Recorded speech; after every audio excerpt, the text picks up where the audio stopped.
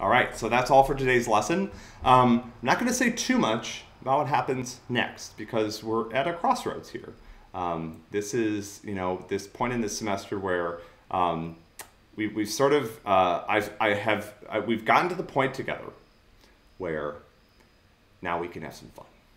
And that is really what we're going to spend our time doing throughout the remaining uh, months that we have together. We're going to have a lot of fun. We're going to build cool things. We're going to talk about some new ideas. We'll pick up some little bits and pieces of Java syntax along the way. But our big push in terms of learning Java, in terms of learning the syntax of the Java programming language, is over. Uh, you made it.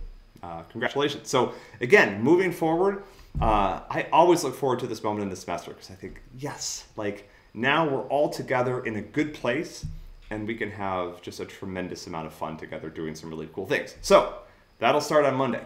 Um, we have some weekend homework as always. Uh, enjoy those problems, get some rest, uh, enjoy the start of fall. Um, and I will meet you back on Monday with some really exciting things to talk about. And at that point, we'll sort of unveil what the plans for the rest of the semester are. So have a great weekend. I'll see you then.